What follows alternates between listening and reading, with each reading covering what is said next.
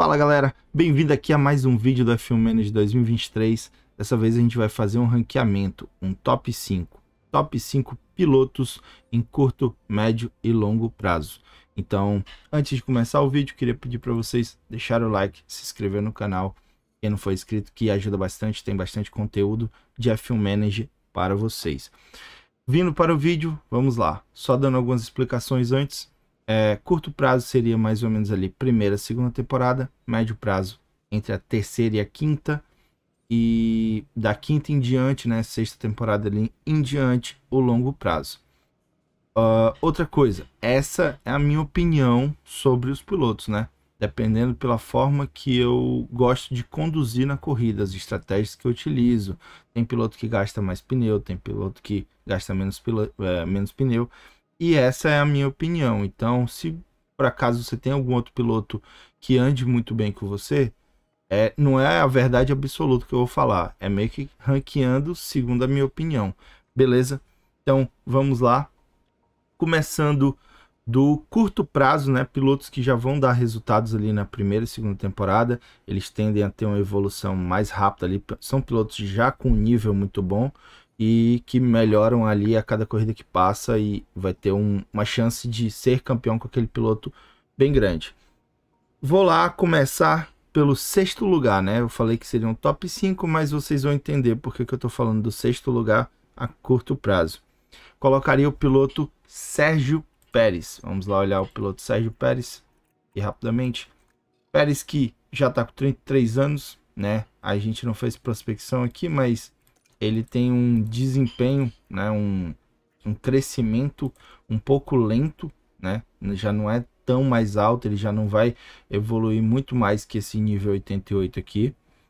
É, é um piloto que faz o trabalho dele, que se você quer ali para piloto número 2 de uma equipe, por exemplo, como McLaren, você está como o piloto principal Norris, por exemplo. Ah, não gosto do Piastre, quero tro trocar o Piastre. Uma opção seria, por exemplo, o Pérez nessas situações. É, dá para ser campeão? Dá para ser campeão com ele também. Mas eu indico mais como um segundo piloto. Quinto lugar, Charles Leclerc. Colocaria Charles Leclerc aqui, piloto que ele gasta muito pneu, a maioria dos saves. É, ele acaba errando bastante, frita muito pneu por vezes, pelo menos comigo aconteceu algumas vezes. Então ele tem esses probleminhas. Porém, é muito rápido, faz muita pole position, ele consegue tirar muita volta rápida no Q1. E se você tiver uma estratégia boa para a corrida, você consegue se manter na frente tranquilamente com ele. É bom de ultrapassagem também, tem várias, vários pontos positivos. Então, meu quinto lugar aqui fica com Charles Leclerc. Quarto lugar, para o curto prazo, Lando Norris. Colocaria o Norris como o piloto em quarto lugar, porque ele é um piloto um pouco mais completo do que o restante, né? Do que o, o Leclerc e o Pérez. Tem um gasto de pneu ok, é, cumpre as estratégias, acaba que erra por vezes, mas mais no início da primeira temporada é, conforme ele vai evoluindo, ele evolui rápido esse nível 87 dele, né? Por ter apenas 23 anos, tem uma evolução rápida. E se você melhorar principalmente a parte de simulador de corrida da sua equipe, ele tende a ter uma evolução muito rápida, como eu já tinha comentado. Então, quarto lugar fica para Lando Norris. Meu terceiro lugar e segundo fica uma divisão. Eu não consigo indicar um como segundo ou terceiro eu vou botar empatado o segundo e terceiro lugar, que seria entre Lewis Hamilton, né, piloto aqui de nível 90, 38 anos também já não tem mais uma evolução tão boa. Inclusive, final da segunda temporada ele já começa a decair, assim como o outro piloto que é o Alonso. Fernando Alonso seria o piloto que vai ficar empatado com Hamilton entre segundo e terceiro melhor piloto a curto prazo. Então, esses pilotos eles vocês vão ter um desempenho muito bom já nessa primeira temporada, dependendo logicamente do seu carro, eles vão tentar extrair o máximo do seu carro. E é isso. E o melhor piloto, indiscutivelmente, é o Verstappen, o que tem o maior nível, tem uma idade ainda ok com isso, tem um desenvolvimento bacana. Se você, mesma coisa, se você faz o desenvolvimento semanal, melhora lá o simulador de corrida da sua equipe, ele vai evoluir mais rapidamente é, ele é muito bom de fazer pole, ele é muito bom de manter o ritmo na corrida mais rápido do que os outros pilotos, mesmo estando com gastando menos recursos, por exemplo, colocar seu ritmo no padrão, enquanto o segundo colocado está no agressivo e mesmo assim, com o mesmo pneu, ele não consegue chegar. Então ele consegue salvar muito pneu, ter muito pneu para próximo das paradas e ser muito rápido ao mesmo tempo. Então o Verstappen colocaria como o melhor piloto para curto prazo. Ponto negativo principalmente a quebra de contrato dele, tá? O custo aqui, a multa rescisória, inicialmente começa próximo a 60 milhões. E no final da temporada não abaixa tanto, abaixa uns 10 milhões no máximo. Então ele é bem caro. Você tem que meio que é, preparar o seu caixa para trazer ele. Não dá de só, ah, eu quero trazer o Verstappen, e aí você vai causar é, uma parte negativa no caixa. Tá, então esses são os pilotos que eu coloco como curto prazo. Primeiro, Verstappen. Segundo e terceiro, Alonso e Hamilton, né? Tanto faz a posição. Quarto lugar, Norris. Quinto, Leclerc. Sexto, Sérgio Pérez. Esse eu coloquei esse sexto, por quê? Porque o Verstappen basicamente é inalcançável no jogo nesse início, né? O contrato dele ainda está muito longo, é muito caro e ele ainda tem que ter interesse para sua equipe, que não são todas que ele tem. Então é bem complicado. Então eu coloquei, eu coloquei os seis primeiros para dar a opção do Pérez também. Agora vamos para o médio prazo. No médio prazo são aqueles para terceira temporada em diante, até uma quinta, sexta temporada ali que vai ter um, um auge, digamos, de sua performance. E aí eu colocaria em quinto lugar o Yuki Tsunoda. Cadê o Yuki Tsunoda? Aqui. Yuki Tsunoda, esse, ele tem uma evolução muito rápida, porque ele já vem nível 79 no jogo, é, tem apenas 22 anos, tem primeira temporada você pode até sofrer com ele, mas como eu estou indicando a partir da terceira, ele já está um piloto muito mais estável, com muito menos erros e mesma coisa. Se você melhora aqui, ó, ele fala, é, ah não, é só quando faz a prospecção. Se você melhora o simulador de corrida, ele tende a evoluir muito rápido o overall dele. Então, piloto que eu indico como quinta posição no médio prazo de 3 a 5 temporadas, sexta temporada ali mais ou menos, o Tsunoda. Quarto lugar, George Russell. Colocaria George Russell como uma opção aqui muito boa também para esse médio prazo aí, caso você queira. O valor dele também é mais alto do que o do Tsunoda, mas não é tão alto como o restante da lista. Então, seria uma opção para trazer ele. Terceiro lugar, Charles Leclerc. Charles Leclerc, como eu já falei antes, é, também é novo, 25 anos, ainda tem uma evolução boa. É um piloto rápido, traz muita pole position, traz um ritmo de corrida interessante. E a partir da terceira temporada ele já diminui muito é, esses erros bobos que ele acaba cometendo na, na primeira e segunda temporada. Então, terceira temporada já é um piloto muito mais estável. E eu recomendo como terceiro colocado aqui no médio prazo.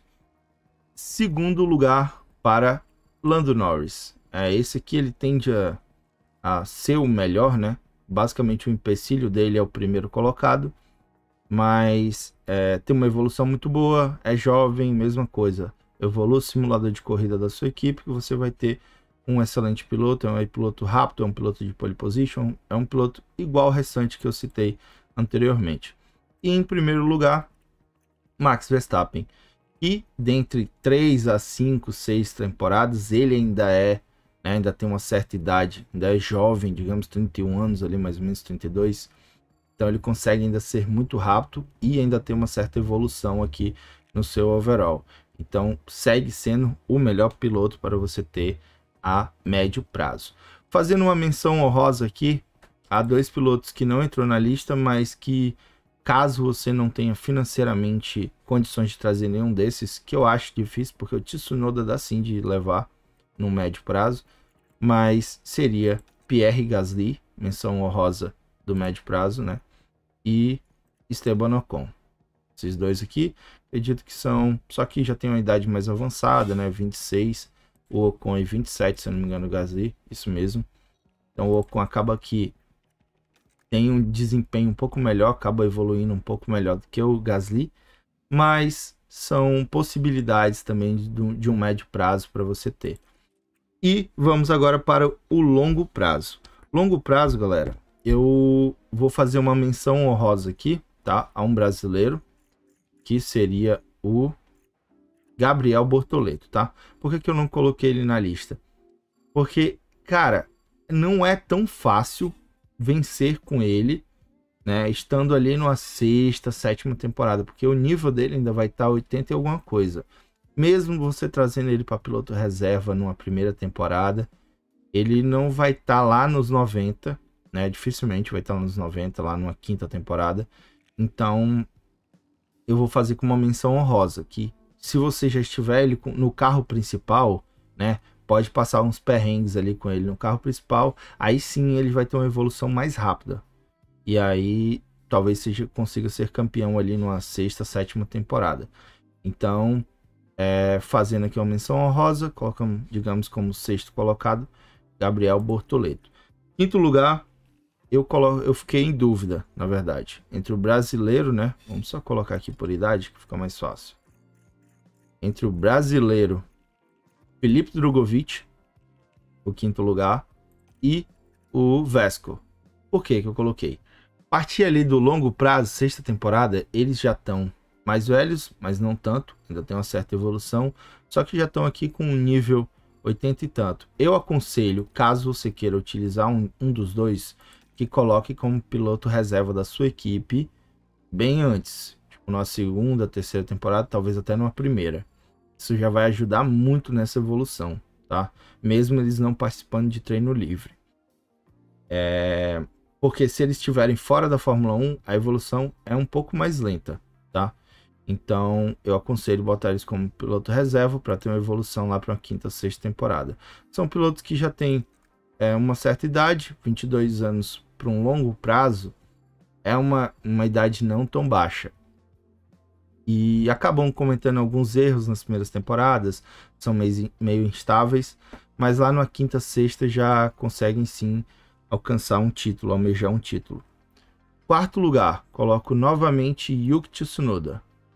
Coloco ele aqui porque já vai estar tá passando essa parte meio que máxima dele, né, ali do, do médio prazo da quarta, quinta temporada, que ele está extremamente forte, né? Ele ainda vai ser muito forte, mas é uma hora que outros pilotos vão começar a evoluir mais rápido que ele, né, e melhor que ele. Então acho que a gente tem opções melhores, mas o Tsunoda não deixa de ser uma boa opção.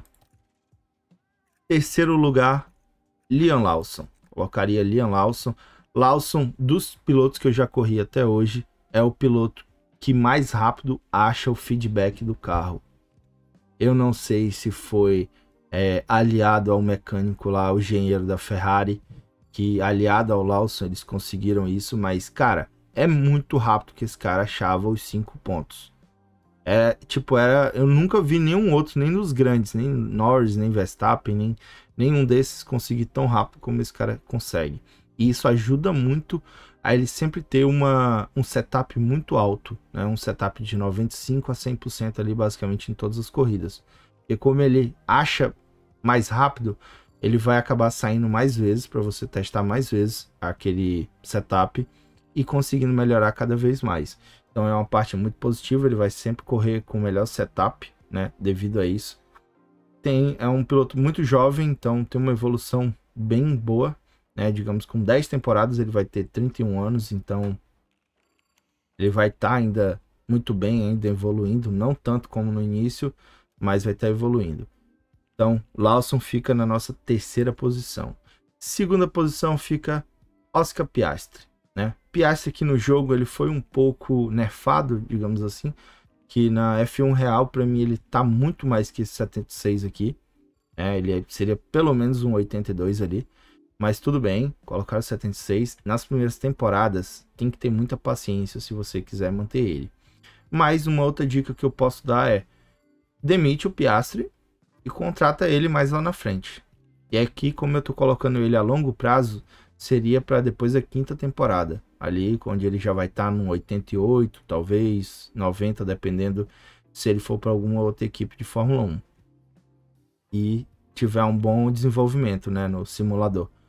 Então, Oscar Piastri fica como minha segunda opção, né, no longo prazo. E o piloto que eu coloco como o melhor a longo prazo, né, que vai estar tá realmente mandando ver demais na, na nas temporadas ali sexta e sétimo, né, se você tiver gerenciando ele ali desde uma terceira, não segunda, não precisa botar ele como piloto principal, pode botar ele como piloto reserva.